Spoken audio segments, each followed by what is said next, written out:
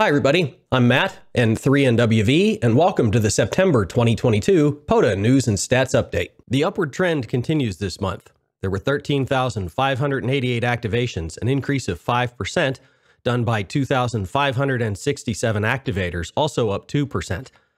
They made it to nearly 5,000 parks, 4,952 to be exact, which is up 8%. Only 43 DXCC entities this month, which is down a little bit, but the QSO total stands at nearly 550,000, up 15%. 20 and 40 phone continue to be the QSO honeypot, and the activating window is starting to shrink just a little bit as fall settles in here in the Northern Hemisphere. In the US, N2NWK, KE8SZL, and K7CAR sit atop the stats by activations, parks, and QSOs respectively. In Region 1, SV1 CIF has both the activations and the QSOs, with M0 VOG hitting the most parks. Region 2 outside the US sees HI8DL activating the most times and parks, with VE3 THR having the most QSOs this month.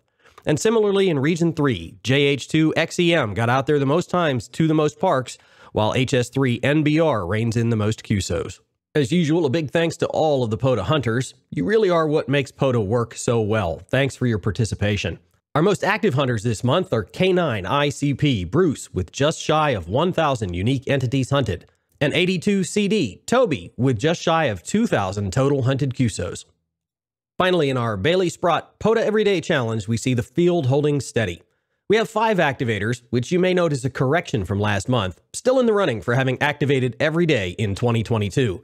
Congratulations and continued good luck to those five. There are 25 who've managed to hunt at least one QSO every day, although from the table you can see they usually manage a lot more than one.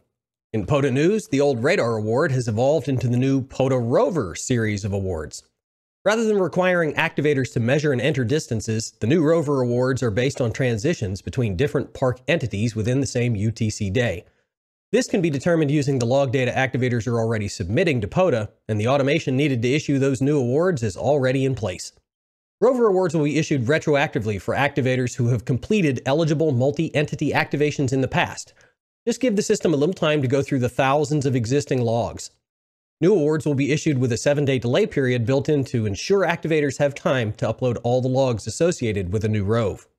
A huge thanks to everyone on the dev team who has made this change possible. That's all for this month's update. Next month is the Halloween edition, so get out there and scare up some POTA fun.